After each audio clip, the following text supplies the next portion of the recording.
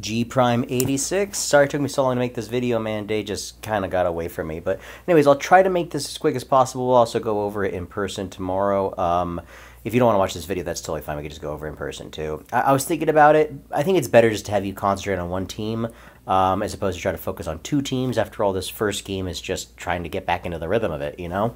Um, so, anyways, uh, all the teams that I made are all very equally balanced at 150 point, 150 point character. You're playing the X Men uh, headed by Cyclops, so he's half of your team. Should be pretty strong, and luckily he is. This Cyclops is amazing. Um, few notable things. I'm not going to go through all the powers. Uh, well, I'm going to have the powers and abilities card there, so you can kind of look to see what they do as the game progresses. But just a few highlights. He doesn't take pushing damage, which is awesome. He's a sharpshooter, so he can make range combat attacks when he's next to people.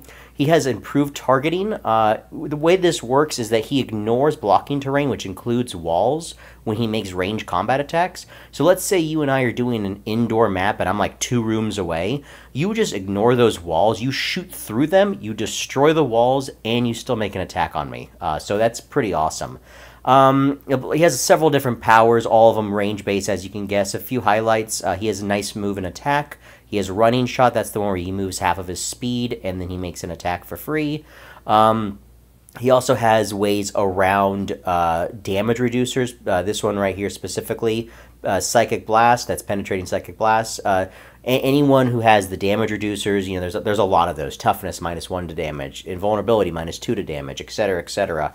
Uh, this power goes through them, um, so that that's really helpful.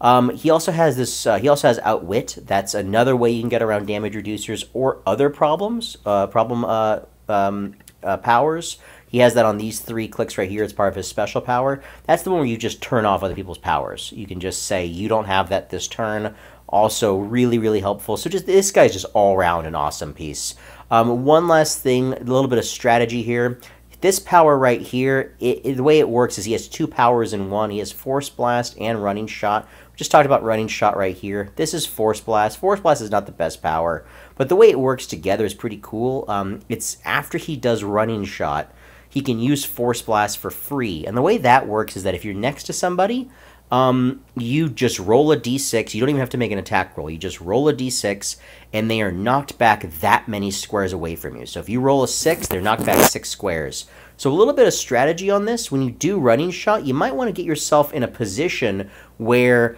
you're you're you're behind them. So when you do that force blast next you're either pushing them into a wall or hopefully pushing them off of a building or off of a cliff or something like that. So you're just doing more damage for free. So really cool. Um anyway moving on to your next piece jean grey. You played with her before too. She's pretty great. Here's the penetrating psychic blast. Another way around those damage reducers. Um she also has this power right here, enhancement. Uh, she's able to, um, when she's next to people doing range attacks, she ups their damage passively, which is really nice, since especially since you have all range team. So Banshee right here, if he is next to Jean Grey, that 3 is actually a 4. That 4 is actually a 5. Um, so Jean Grey is really powerful in that aspect. Um, just in terms of support. But what she's really great for is these two special clicks right here. So um, she can use running shot like like uh, like Mr. Summers, uh, but she does not have her range, and she can carry up to three characters when she's using it if they share a keyword. And you're obviously all all of them have the X Men. So in her first turn, she can move nine squares, shoot two targets up to eight squares away, and bring the rest of her team with her. So that's just crazy good. Um, anyway, that's kind of the highlight with her. Just moving on, just so we can get through this. Um, you can kind of ignore his trait for the most part. I feel like um, it, it, we'll just go past that. I don't, I don't think it's very good in this situation. Banshee is kind of a one-trick pony. Um, he's all about this pulse wave. Pulse wave is the yellow right here. These three special powers are also pulse wave. By the way, real quick, th this is who Banshee is. I don't know if you remember him from uh, from our the X Men TV show or anything like that. But anyway, um, the way Pulse Wave works is Pulse Wave is kind of a better version uh, of Psychic Blast. Psychic Blast goes through damage reducers. Pulse Wave goes through everything. Uh, it, it, it, also it goes through like things like stealth. The way it works is you have your range, so he'd be 3.5, so it'd actually be 4 because you always round up. and it's four in all directions. So basically, you draw if if anyone is within four squares of Banshee, they are hit by their attacks. We can attack multiple characters at the same time with this. Um, and it ignores characters and it ignores their powers and abilities. It's think of it as they basically just this energy surges coming off of them, and anyone within this radius is is is dealt damage. Um, so it ignores things like stealth, it ignores super senses, it ignores shape change, it ignores all the damage reducers. Really powerful, but you have to be careful with it because it's everyone within that range. So if Jean Grey and Cyclops are within that four squares, they're taking damage too.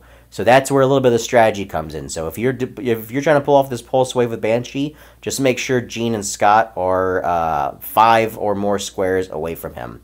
Anyway, that's kind of that. Um, we'll go over more of this stuff soon. Uh, just one more thing to kind of note. Um, as I mentioned, uh, I, I am playing a, another team with the same point values um, as well, 150, 150. Um, characters I have, the 150 point guys, Wash, they're both really good. 100 point guys, Wash, they're both really good secondary attackers, plus support. You're really controlling, you control the board by her movement. I'll control the board in a different way with the character that I have. But both these, so far, these two kind of play the same role. The role for Banshee's kind of like that third string attacker, just kind of another good guy. I would say overall the team I'm playing is a little bit better than the, than this team. It's harder to play, um, but I think it's also a little bit better, and it comes down to this 50 point character. And you'll you'll I'll, I'll reveal my team to you tomorrow when you see it. The the 50 point character I, I'm playing is just really really good for 50 points. So anyway, I'll kind of I'll kind of walk you through that and talk to you how to how to handle it and all that stuff. Anyway, man, talk to you soon. Bye.